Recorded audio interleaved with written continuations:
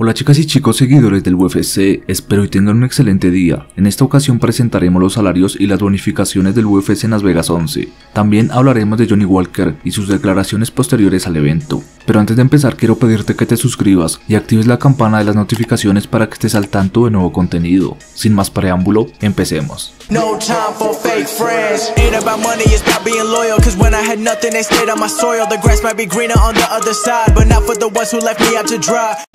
Antes de continuar, debemos tener en cuenta que la Comisión Atlética del Estado de Nevada no divulga información sobre el pago de los peleadores, por lo que ninguno de los siguientes datos salariales del evento es oficial. Sin embargo, puedes obtener una imagen bastante precisa de la paga de un luchador, esto en función de la información oficial publicada en peleas pasadas. Entonces, en base a esa información, aquí está el desglose de la paga estimada para los luchadores que intercambiaron golpes en el evento.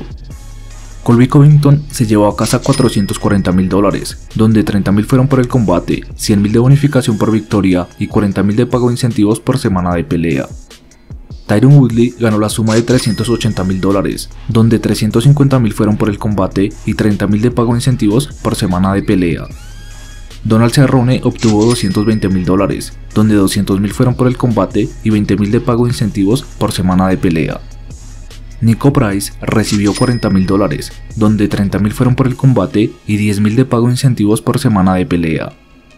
Kamzat Chimaev se llevó a casa 107 mil dólares, donde 26 mil fueron por el combate, 26 mil de bonificación por victoria, 50 mil de bono por rendimiento de la noche y 5 mil de pago incentivos por semana de pelea. Gerald Merchaert recibió 43 mil dólares, donde 38 mil fueron por el combate y 5 mil de pago incentivos por semana de pelea. Johnny Walker ganó la suma de 101 mil dólares, donde 48 mil fueron por el combate, 48 mil de bonificación por victoria y 5 mil de pago de incentivos por semana de pelea. Ryan Span obtuvo 29 mil dólares, donde 24 mil fueron por el combate y 5 mil de pago de incentivos por semana de pelea. Mackenzie Dern se llevó a casa 135 mil dólares, donde 40 mil fueron por el combate, 40 mil de bonificación por victoria, 50 mil de bono de rendimiento de la noche y 5 mil de pago incentivos por semana de pelea. Randa Marcos ganó la suma de 37 mil dólares, donde 32 mil fueron por el combate y 5 mil de pago incentivos por semana de pelea. Kevin Holland recibió 65 mil dólares, donde 30 mil fueron por el combate, 30 mil de bonificación por victoria y 5 mil de pago de incentivos por semana de pelea. Darren Stewart obtuvo 43 mil dólares, donde 38 mil fueron por el combate y 5 mil de pago de incentivos por semana de pelea. Damon Jackson se llevó a casa 79 mil dólares, donde 12 mil fueron por el combate, 12 mil de bonificación por victoria, 50 mil de bono por rendimiento de la noche y 5 mil de pago incentivos por semana de pelea. Mirsad Bektish ganó la suma de 45 mil dólares, donde 40 mil fueron por el combate y 5 mil de pago incentivos por semana de pelea. Déjanos comentarios qué opinas de los salarios y las bonificaciones del UFC en Las Vegas 11.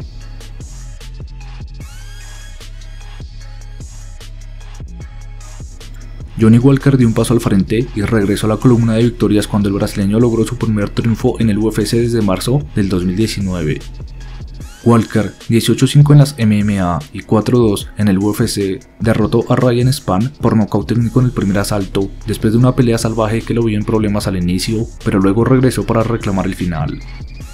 Hablando con los medios de comunicación en el UFC Apex luego de su victoria, Walker admitió que a pesar de asegurar un triunfo, no estaba completamente satisfecho con su actuación.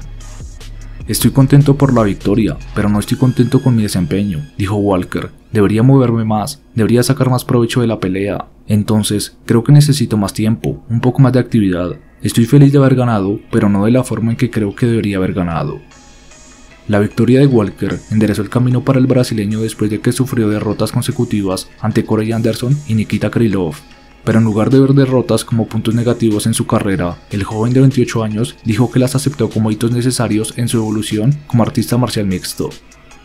Veo mis dos derrotas como parte del proceso, tenían que suceder, dijo Walker. No tengo mucha experiencia, solo 6 años como profesional y 2 años en el UFC, pero la mayor parte del tiempo regresaba de mi lesión, es parte del proceso, solo veo que aprendo de ahí y me digo a mí mismo que si necesito aprender algo más, espero poder aprender de mis victorias.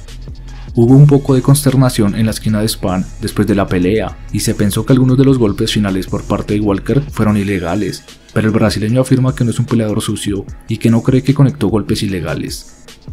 Intento ser profesional, trato de golpear en el lugar correcto del lado de la cabeza, dijo Walker, pero ese no es mi trabajo, mi trabajo es luchar, no quiero dar golpes ilegales, no trate de golpear la nuca, no creo que lo haya hecho.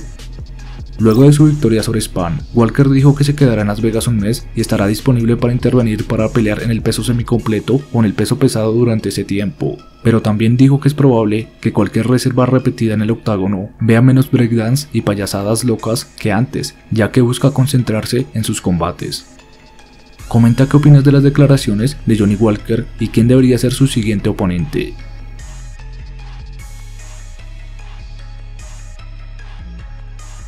Leon Edwards quiere poner sus manos sobre Colby Covington.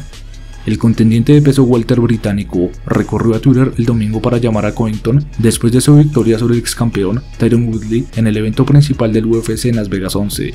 Covington venció a Woodley con un knockout técnico en el quinto asalto para recuperarse de su derrota por el título ante el campeón Kamar Usman en diciembre pasado. Edwards, 18-3 en las MMA y 10-2 en el UFC, quiere pelear contra Covington antes de fin de año.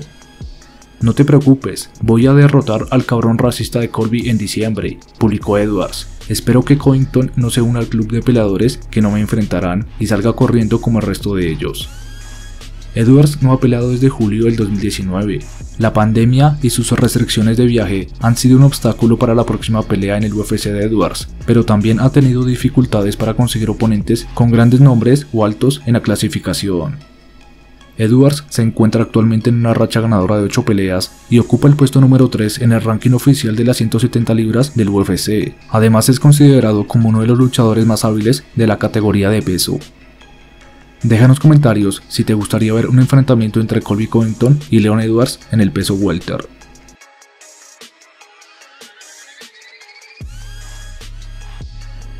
Luego de su dolorosa derrota ante Colby Covington en la pelea estelar del UFC en Las Vegas 11, el ex campeón de peso welter, Tyron Woodley, envió un mensaje para sus seguidores y confirmó tener una costilla fracturada. Tyron Woodley fue dominado por Covington durante más de 4 rounds, antes de perder por nocaut técnico. Tyron iba encaminado a una tercera derrota consecutiva por decisión, y de nuevo, no había ganado un solo round. Woodley ha perdido sus últimos 14 rounds en el octágono en las tarjetas de todos los jueces. Al término del evento y tras ser llevado al hospital, Tyron Woodley habló sobre su situación. El ex campeón parece determinado en continuar su carrera, pese a lo que opinen de Dina White y algunos medios. Les agradezco el apoyo, los quiero a todos. No salió como yo quería. Él es la última persona con la que querría perder. No sé cómo carajo sucedió, pero sucedió. Ahora tengo que sacudirme el polvo, sacudirme toda la mierda y encontrar una forma. Además, Woodley compartió una radiografía de sus costillas para mostrar la fractura sufrida en la pelea. Radiografía de la costilla rota de Tyron Woodley. Él dijo que apareció antes en la pelea y luego trató de usar la guillotina para levantarse y explotó. Fue el mayor dolor de todos los tiempos y en este momento está de vuelta en el hotel descansando. No solo fue una forma desafortunada para Woodley de sufrir su tercera derrota consecutiva, sino que también perdió ante su rival en Covington, Ambos peleadores hablaron mucho antes de esta pelea de rencor, pero finalmente fue Covington quien se arribó al final cuando terminó con su rival, lo que podría poner a Woodley en la vía rápida hacia el retiro. El presidente del UFC Dana White dijo después del evento que hablará con Woodley sobre la posibilidad de retirarse después de la derrota unilateral ante Covington. Aunque Woodley solo ha perdido ante Camara Usman, Gilbert Burns y Covington durante su mala racha, perdió cada ronda de esas peleas y ya es difícil tenerlo como un contendiente en el peso welter. Comenta qué crees que será lo próximo para el ex campeón Tyron Woodley. Hasta acá este video y nos encontraremos en una próxima entrega.